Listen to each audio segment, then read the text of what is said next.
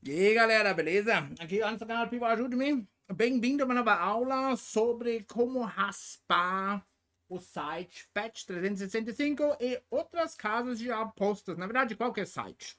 ok? Ainda estamos no primeiro método, que falei bem no começo da série, que eu vou ensinar quatro métodos de raspar, mas agora são já seis. você vai ver, você sempre vai conseguir raspar qualquer coisa. Tá na sua tela, você consegue ver, você consegue raspar. Sempre pensa assim. Eu consigo ver, eu consigo raspar. Ok?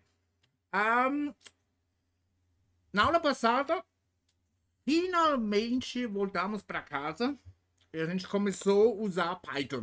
As primeiras aulas a gente nem usou Python, apesar de ser um canal aqui de Python. E agora vamos juntar as peças. Você lembra da aula que eu ensinei como shell scripts funcionam em Linux? Tem no playlist, não, deixa lá em cima se você não tiver assistido ainda. E agora vamos implementar toda essa parada aqui. Beleza, então foi essa aula aqui, certo? E eu ensinei como fazer um shell script para ler todo o código HTML. A gente vai clicar aqui em RAW, mais fácil. A gente copia tudo isso. A gente entra aqui. E vamos inserir esse código aqui. Ah, ok. Colocar aspas, três aspas. Seis, na verdade. No meio você coloca a parada aqui. Perfeito. Deixa ver, acho que era um pouquinho pequeno. Ah, vai, vamos juntar isso aqui tudo. Tá bom, eu juntei. Ainda acho que é muito pequeno, mas tudo bem. Porque, meu, tem tantos canais legais no YouTube de programação, mas a galera, mas a galera não pensa nem um minuto de aumentar um pouquinho a fonte. para alguém poder ler. Né? Um, eu acho que ainda tá um pouquinho pequeno, mas tudo bem, a gente já fez uma outra aula. Um, beleza. Então, lembrando aqui, o que a gente fez lá? A gente clicou no botão. Essa parte aqui foi para verificar se já está tudo pronto, já arquivo, já está no HD, está completo. Quando isso aconteceu. Aí ele fez aqui um cat. E a gente viu os resultados. Aí agora vamos montar isso aqui em Python. A grande vantagem do novo módulo que eu escrevi, um, o Useful ADB, em vez de ADB-Kit, eu acho que é o único módulo que consegue executar shell scripts. Porque, eu vou te falar, terror. Principalmente quando não, não tem raiz. Porque você não consegue mudar como chmod, não tem como, né, de fazer uma executável. Também com uma raiz, fica é complicado. Muitas vezes não funciona, dependendo qual emulador você está usando. Mas como esse aqui é, funciona, ele manda diretamente para o bash e pronto. So, perfeito. Tá, então vamos dar uma olhada que a gente pode melhorar. Esse aqui é um pouquinho inseguro, é um pouquinho trabalhoso, Coloca toda vez aqui coordenada. É um saco. Um, no primeiro vídeo, eu escaneei toda vez. Né? Onde está o botão? Onde está o botão? Na verdade, não é necessário, porque o botão não vai desaparecer lá. Mas vai ficar no mesmo lugar. Deveria, pelo menos, não. Não, mais sério. Ele, que vai mudar lá? Nada. Okay? O jogo seria diferente, mas ele vai sempre ficar lá. Então, a gente basicamente só precisa escanear uma única vez. Certo? Depois a gente tem coordenada. Depois a gente clica. Beleza? Tá, então vamos fazer isso. Só isso vamos deixar por enquanto assim. Tá ótimo. Eu falei na aula passada que esse aqui, o Useful ADB, é módulo basicão. E realmente não tem nada além de Python e uma única dependência que não é Python puro, que é XML. Não dava para fazer sem. Okay? O resto Python puro. Por que eu fiz isso? Porque é muito fácil compilar. Você faz, por exemplo, um projeto para um cliente, aí você consegue aqui compilar isso rapidinho, se vai funcionar de boa, não vai te dar problema e pode vender já.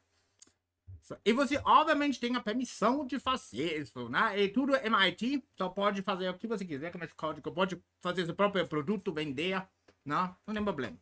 Um, lá o menino que faz isso aqui é Thomas.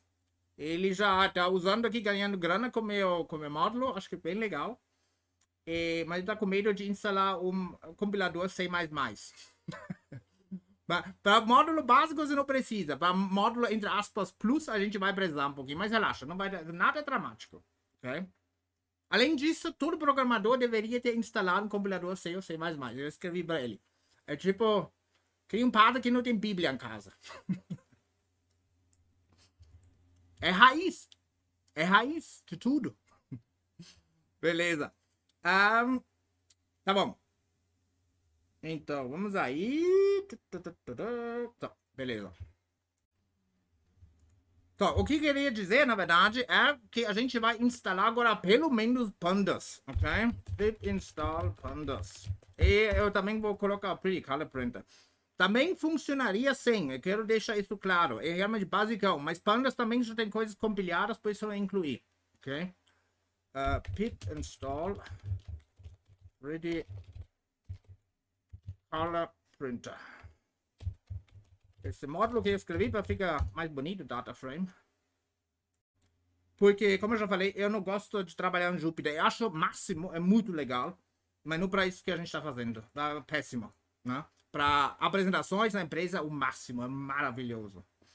Ok, um, beleza. Eu sempre tento escrever todas as coisas que você pode fazer com os módulos, com os módulos, a documentação, porque eu mesmo esqueço. Na verdade, eu faço todos os módulos. A... O motivo número um sou eu. para não perder meu trabalho. Entendeu? Um, se alguém quiser usar, tudo bem. Se alguém ajudar, melhor ainda. Mas o motivo principal sou eu. Um, então, eu coloco aqui todas as coisas e quando você lê, você vai ver agora tem vários métodos de localizar esses elementos. Não? E a gente vai falar muito sobre eles quando a gente vai começar a navegar no site. Beleza? Então vamos ver como usar esses módulos. E vamos iniciar o código, certo? Que nem a aula passada, deve ter isso aqui. Pronto, acabou a história. Como eu já falei, isso você pode esquecer aqui. Não? Nossa, quantas, quantas conexões ele tem? Deixa eu ver aqui. Evil Shell. Uh, get devices. Tem mais um emulador aberto? Sim. Ah, tudo bem. Ok. Então, aqui eu estou usando agora é importante, né? Esse número aqui. Tem que tomar um pouquinho cuidado quando você usa mais de um emulador.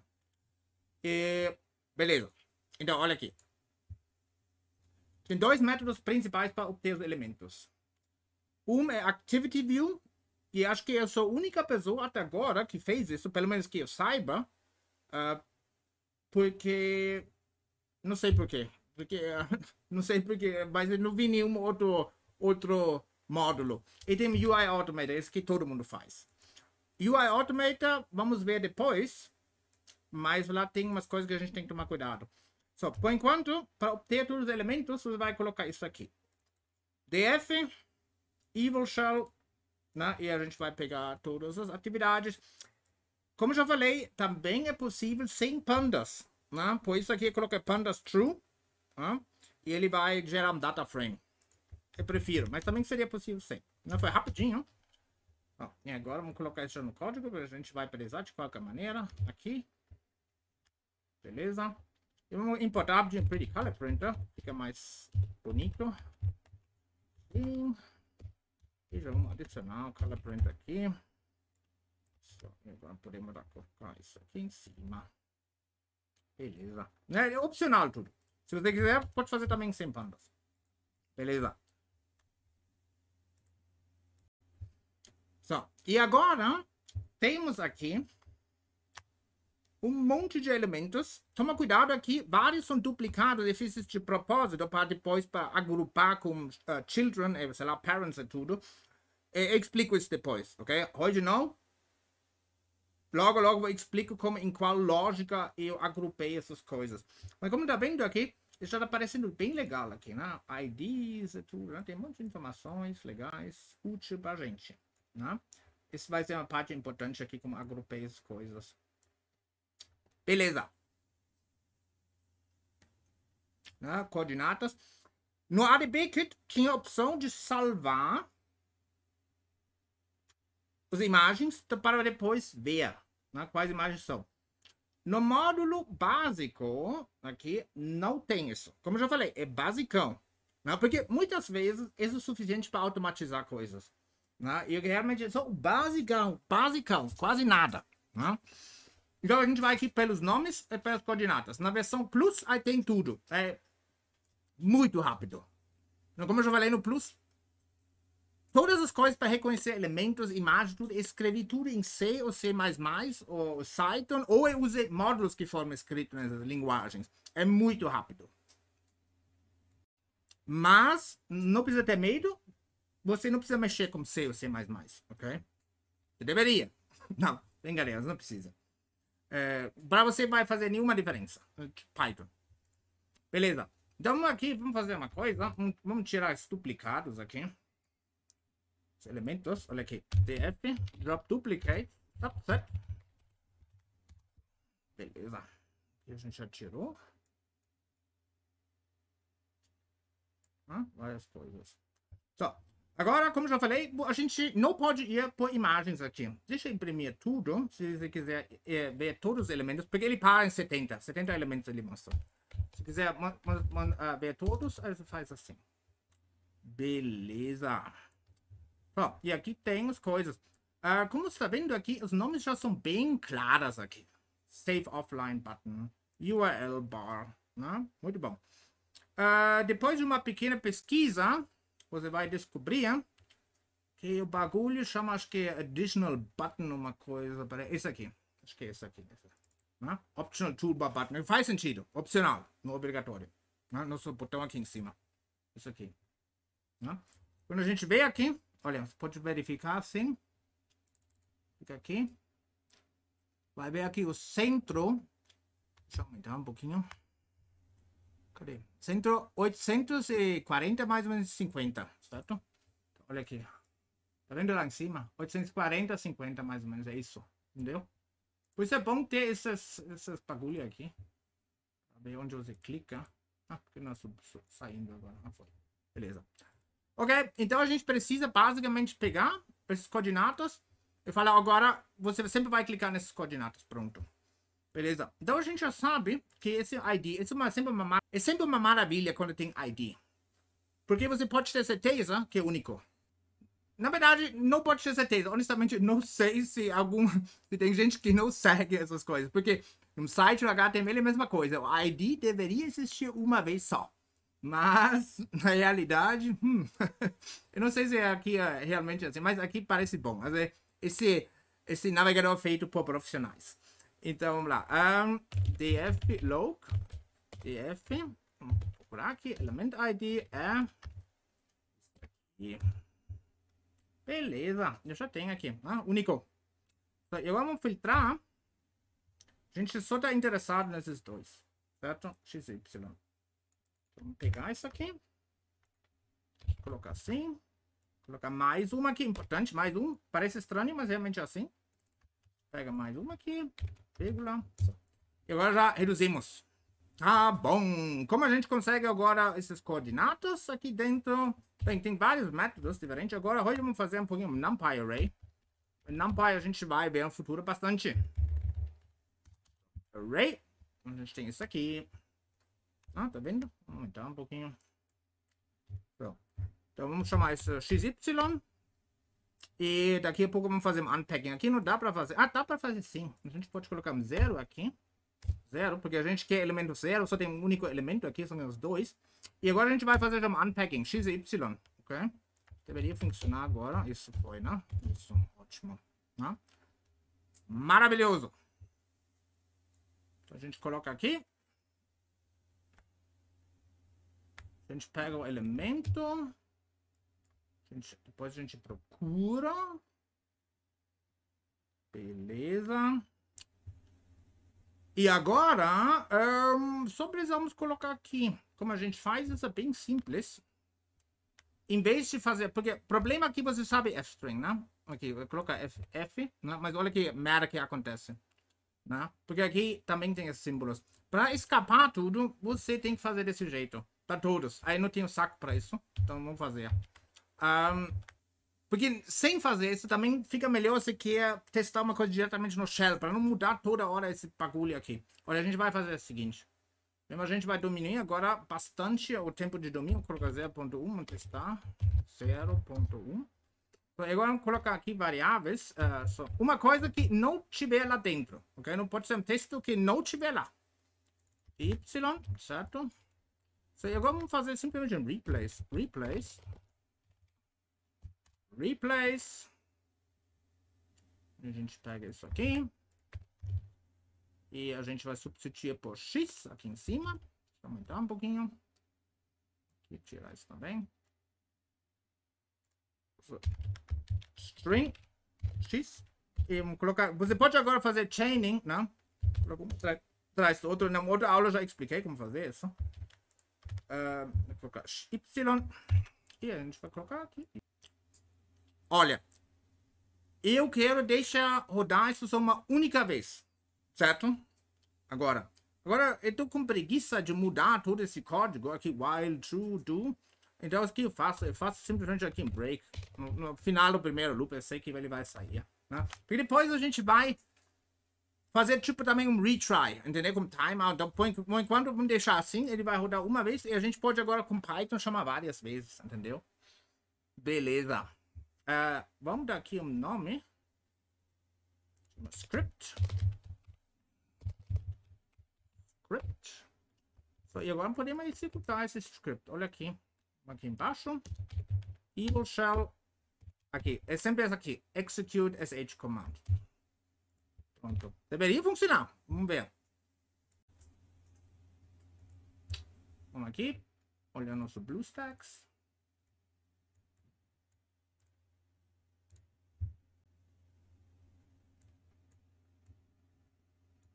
Beleza. Rodar. Agora, cadê? Foi. Viu? Fechou. Ah, nossa, aí tem um que cliques demais. Ok, ok. Bagulho tá ficando doido. Pera aí, vamos tirar isso aqui. Ah, esqueci uma coisa. Tira, tira. Uh. Não, break tá certo. Pera aí. Onde, onde ele tá fazendo cagada? Input tab? Ah, eu sei por quê. Graças a Deus, não é fácil deletar arquivos em Linux quando você não tem raiz. Né? E mesmo você tem, você muda para raiz, você ainda tem que colocar su. Esse aqui ferrou tudo. A gente tem que mudar para pasta primeiro aqui. CD, SD card, download. So, assim. Agora deveria funcionar. Só porque ele está aqui dentro, ele vai deletando. Ele pega. Vamos lá.